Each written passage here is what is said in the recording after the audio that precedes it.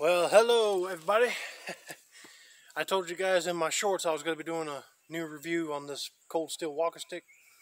And I'm doing it today because I was looking at the weather and looking outside. It almost looked like it's starting to sprinkle, so I better hurry up and do it real quick before it rains as a pour down. But anyway, uh, and first off, this is my first cold steel walker stick ever.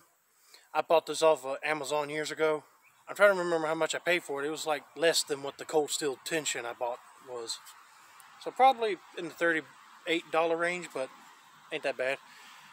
And I wrote down the specs just like Cowboy C-Bop. Shout out to you, by the way. Um, and uh, because he always writes down information about the knives he reviews on paper, so I'm doing the same thing today.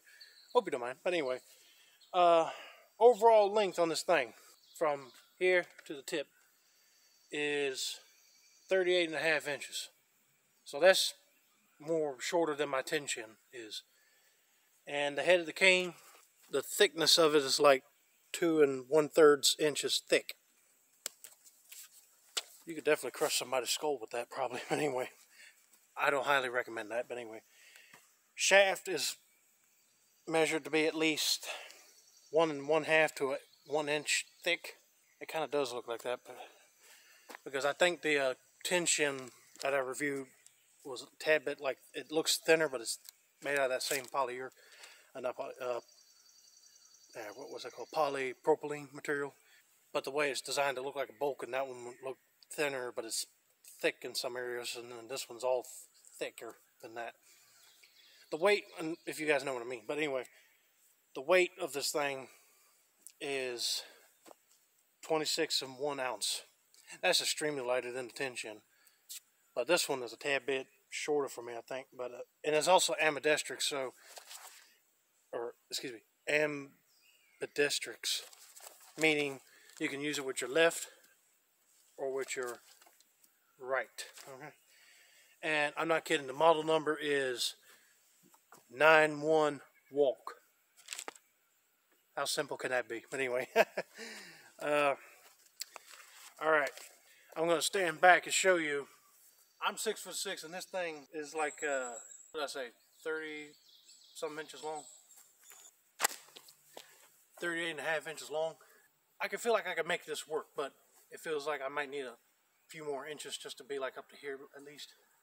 That cold steel tension will work perfect. But So if you guys are taller than me, I wouldn't recommend this for you. Like if you're like six eight or whatever, this is too small. But for someone that's below me, like six four, two, three, I mean, probably perfect for you guys. And plus, uh, you can remove this tip, and it's already got some notches right here. I don't know if you see that. Notches for you to cut it down to your size anyway. But I ain't doing it. Anyway, and I love the fact that they etched in the name walk I don't know if you can see it on my camera but walkabout right here on the stick I mean that looks incredibly awesome. All right, I think I'm gonna move you guys over to a certain tree and I'm gonna whack the tree with this just to show you how tough this thing is. So hold on. Okay, I'm over by this tree right here. Imagine you just want to scare somebody with this thing and they like owe you some money or something. I ain't playing, punk. Where's my money? And then if they don't give it to you, I bet you this probably could break somebody's knee. But I don't recommend lethal force like that. But anyway, so I'm going to use the head of the cane first and show you.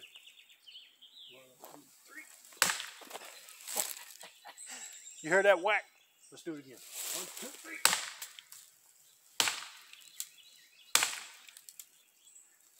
Man, that tree is taking it.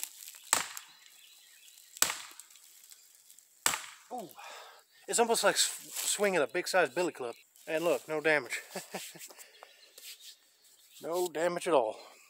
It's got some tree bark on it, but I can clean that off but anyway. But now let's try it again with, with this will probably do less damage. But hold on tight like you're swinging a baseball bat. Let go.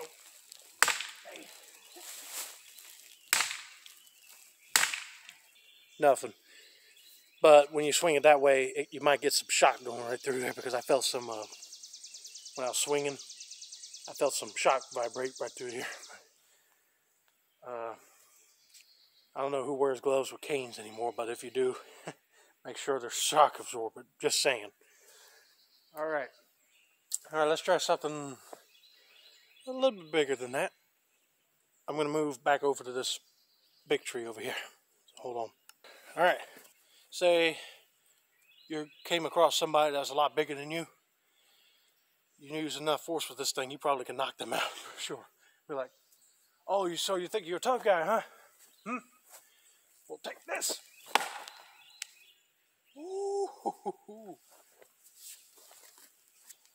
You heard that?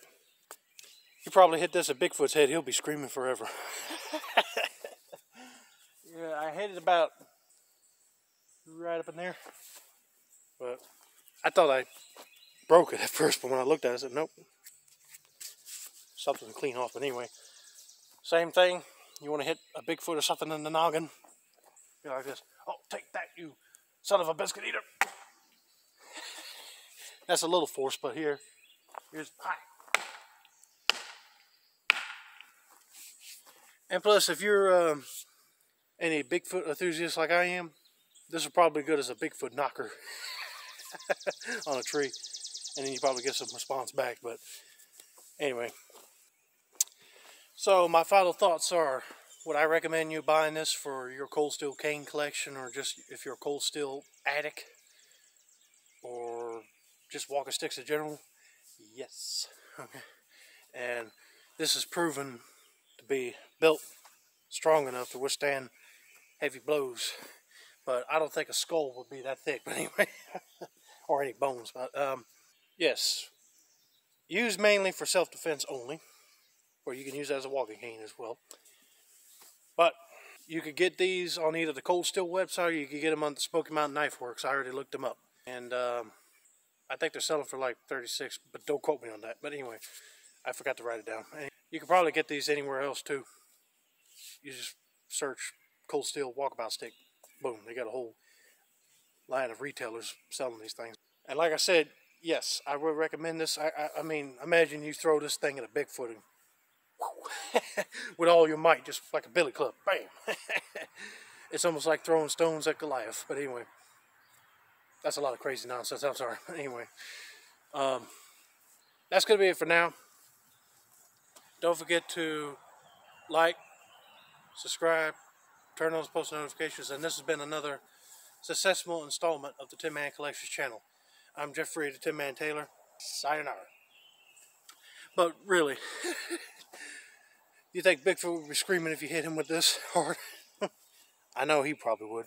That's all. Bye-bye.